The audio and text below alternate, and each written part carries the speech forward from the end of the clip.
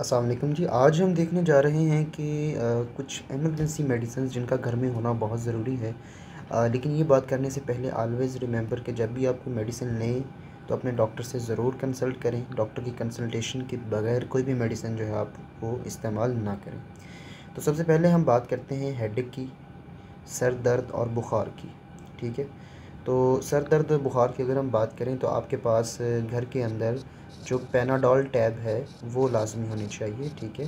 You can use tab Panadol one plus one plus one सुबह दोपहर शाम तो आपका बुखार और सर दर्द जो है वो इससे ठीक हो सकता है। अगर इससे आराम नहीं आता, आपके बॉडी के अंदर पेन है और आप जागना भी चाह रहे हैं, ठीक है? तो आप टेन जो पेनाडोल है, वो एक्स्ट्रा यूज़ कर सकते हैं एक्स्ट्रा के अंदर कैफ़ीन होती है तो ये भी आप यूज़ कर सकते हैं। और इसके अलावा एक मेडिसिन आती है टैब रिलीफ के नाम से। You can also use this medicine for headache and the fever अगर मैं बात करूँ नज़ला ज़ुकाम और बुखार की तो नज़ला ज़ुकाम के लिए आप जो है एक टैबलेट आती है जिसको आप एरीनेक के नाम से जानते हैं। ठीक है, टैब एरीनेक, सिंपल टैबलेट भी आती है और एरीनेक फॉल्ट के नाम से 400 हंड्रेड भी जो है वो आपके पास अवेलेबल है मेडिकल स्टोर्स पर। ठीक है, ओवर द काउंटर ड्रग है, आप इजीली इसको ले सकते हैं। और ये नज़ले ज़ुकाम के लिए बहुत अच्छी मेडिकेशन है। इसके बाद अगर आपका पेट ख़राब है, मोशन लगे हुए हैं तो अमूमन ये बैक्टीरियल इन्फेक्शन होता है, ठीक है? लेकिन डायरिया का पहला रूल याद रखें मेडिकेशन के अलावा यहाँ पे लिखी तो मेडिकेशन ही है मैंने, लेकिन हमेशा डायरिया का रूल याद रखें। जब भी डायरिया हो, बच्चे को हो, बड़े को हो तो सबसे पहली आपकी जो चीज़ होनी चाहिए, वो ओआरएस होना चाहिए, जिसको उर्फ़ आम के अंदर आप निमकोल के नाम से जानते हैं। ठीक है, निमकोल का इस्तेमाल करें ओआरएस ज़्यादा पिए, पानी ज़्यादा से ज़्यादा इस्तेमाल करें। उसके बाद अगर ये ठीक नहीं होता तो फिर you can take the antibiotics जैसे कि एंटीबायोटिक आपकी फ्लैजल जो है, बहुत कॉमन है। आप फ्लैजल ले सकते हैं। टैब फ्लैजल के नाम से आती है एंटी एमीबिक होती है। या फिर आप इमोडियम जो है, इसको यूज़ कर सकते हैं। Imodium is also anti diarrhoeal इसके बाद अगर मैं बात करूँ, जिसम के बॉडी के अंदर डिफरेंट बॉडी पार्ट्स के अंदर अगर पेन हो तो फिर आप कौन सी मेडिकेशन आप इस्तेमाल कर सकते हैं? तो उसके अंदर आपके पास टैब जो है वो सेफ्लाम के नाम से आती है एक मेडिसन ठीक है? सेफ्लाम ये आप याद करते, जो है ना, इस्तेमाल करते हैं मसल एचेस के लिए, ठीक है? जब आपकी बॉडी में दर्द हो, ये आप इस्तेमाल करते हैं जब आपकी कमर में दर्द होता है, ठीक है? बैक एक जो है, ठीक है? स्पेलिंग थोड़े बहुत ऊपर नीचे हो रहे हैं तो कोई बात नहीं। डेंटल पेन के लिए आप इस्तेमाल कर सकते हैं इसको। आप जो है मैंस्ट्रल जो पेन होती है ठीक है उसके अंदर मैंस्ट्रल क्रैम्प्स होते हैं उसके अंदर इसको यूज़ कर सकते हैं। या स्पोर्ट्स इंजरी के अंदर भी आ, इसको यूज़ किया जाता है। देन इसी तरह की एक मेडिसिन आती है टैब्स पेजरेट के नाम से ठीक है आप वो भी यूज़ कर सकते हैं। मसल रिलैक्सेंट है ये ठीक है। It is specially use to relieve the muscles during periods ठीक है तो फीमेल ज़्यादा यूज़ करती हैं इसको।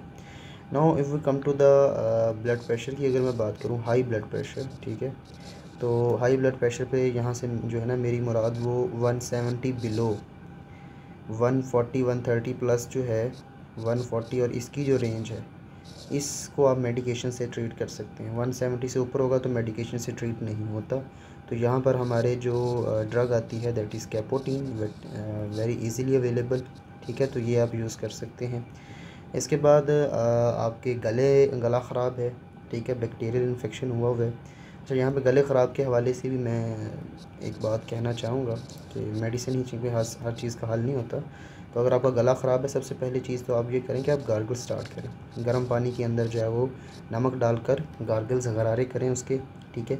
You can also add the Disprin tablet into it ठीक है? प्लस आप डिस्प्रिन टैबलेट भी यूज़ कर सकते हैं इसके अंदर ही।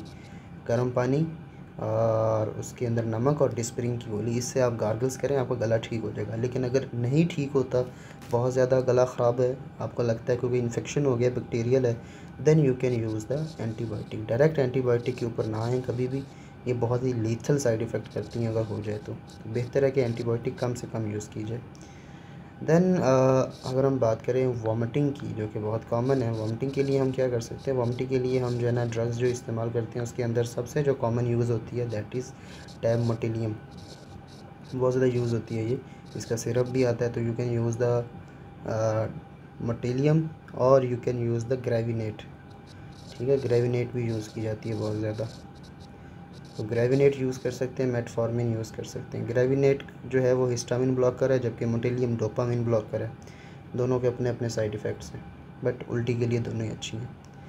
अच्छा अगर आपका पेट ख़राब है, गैस के मसले चल रहे हैं तो आप यूज़ कर सकते हैं गेविस्कॉन सिरप जो है, ठीक है? गेविस्कॉन के नाम से सिरप आता है, वो यूज़ करें आप। या फिर आप म्यूकेन सिरप जो है ना, उसको यूज़ कर सकते हैं, ठीक है? ये दोनों सिरप्स हैं।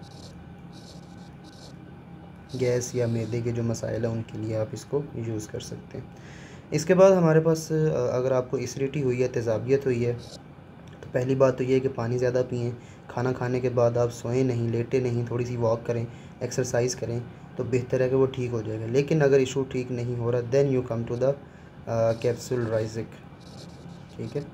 फिर आप राइजिक की तरफ़ आएँ तो आप इसको ले सकते हैं और इससे आपकी जलन जो है वो ठीक हो जाएगी। और फौरी अगर आप मेडिसिन नहीं लेना चाह रहे, फौरी आराम चाहते हैं तो आप इनो भी यूज़ कर सकते हैं। इनो को पानी में डालें और इसको फौरी तौर पर पी जाएँ तो आपकी जलन जो है ना वो अक्यूट रिलीफ के लिए आप इनो यूज़ कर सकते हैं। ठीक हो गया?